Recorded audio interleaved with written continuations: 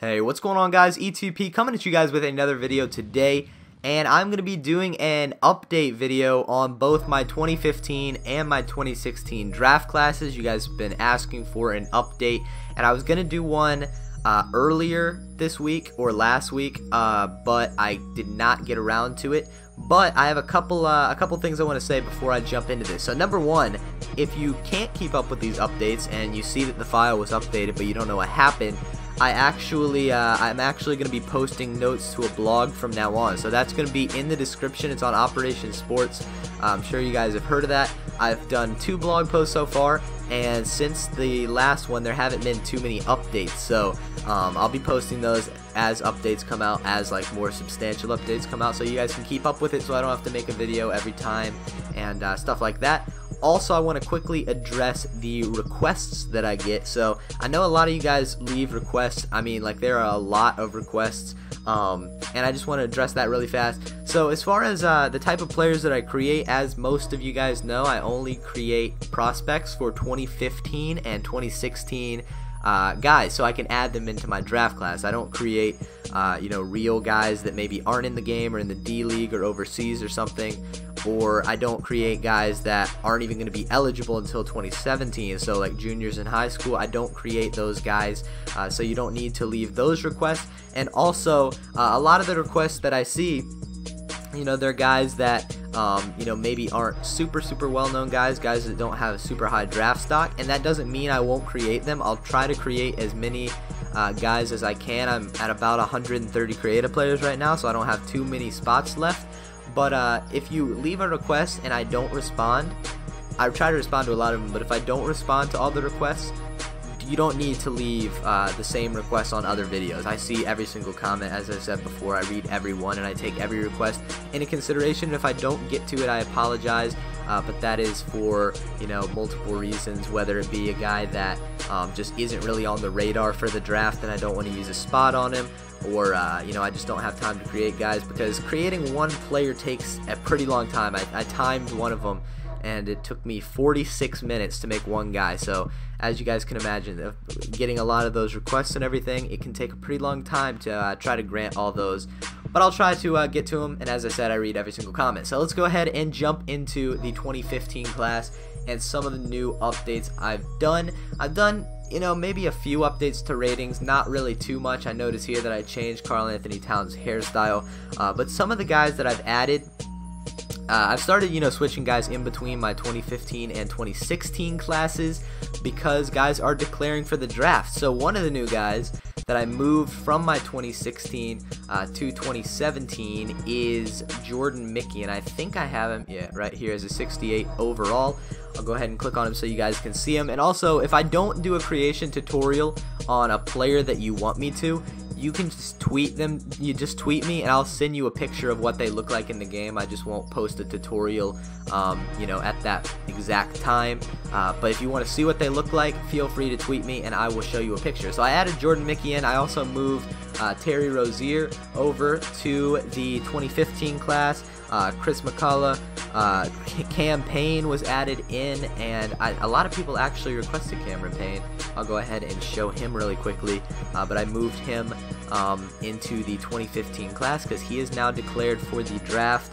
Um, Aaron White, Rakeem Christmas, and Travis Trice. I did a tutorial on Travis Trice, so I don't need to show him, but I am going to show Aaron White because uh, people have asked. The Aaron White looks really bad.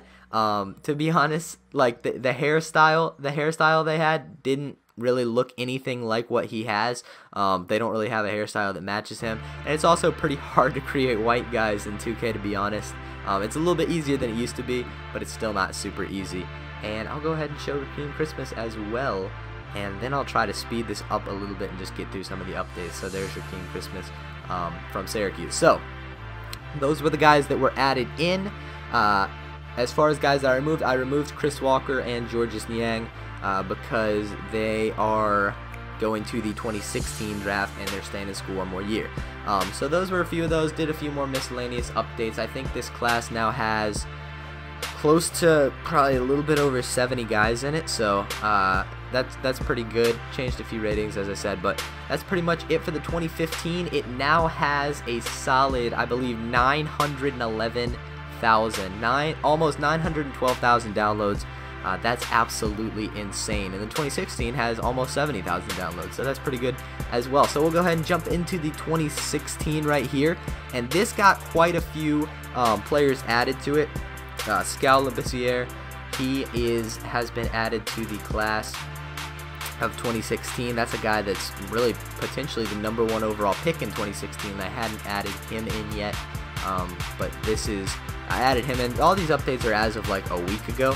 Uh, I added in Demetrius Jackson right here from Notre Dame. I think this is actually a really on-point creation tutorial, or not a creation tutorial. That I think I did a good job on Demetrius Jackson. If you guys don't know what he looks like, uh, you know that looks a lot like him. I also added in Dwayne Bacon, Antonio Blakeney, Nigel Hayes, Melo Trimble, uh, and then I added in Chris Walker and George Georges Niang from uh, Iowa State. So those were some of the other guys. I also added in Anthony Gill down here from UVA um, into the 2016 class as well. And that actually, I think that one really looks good as well. If you guys don't know what he looks like, I think this is one of my better ones as well, especially the side view. Um, so that's that. Players removed. I removed Jordan Mickey and Terry Rozier and Chris McCullough uh, because I moved them over to my 20 set or my 2015 draft class. Um, and then there were some, a few miscellaneous updates, like I added the compression pants to Ben Simmons over here um, because a couple people asked me to do that, and I don't really know why I didn't have them on. I did notice he wears them a lot, uh, but I guess when I was making him, a lot of the tape I was watching, he didn't have them on, so I decided to not go with it. Um, but those are it for those updates, and let me just check really quickly what are some of the other ones um, oh, okay, here we go. So we added a few more guys. The 2015, the 2015 class got, let me go back to the 2015 class, actually. It got a foreign player that is a very, very solid guy. Early second round, late first round projection. Uh, Timothy Luwawu. Timothy Luwawu um, from France. And I think, you know, I was watching a lot of stuff on him. He's actually a really, really um, solid player. He's you know, got a lot of different skills. If he can get better at finishing and everything, then I think he could actually be a pretty solid player. He's really young and he has a lot of potential. So we'll see what he does in the league.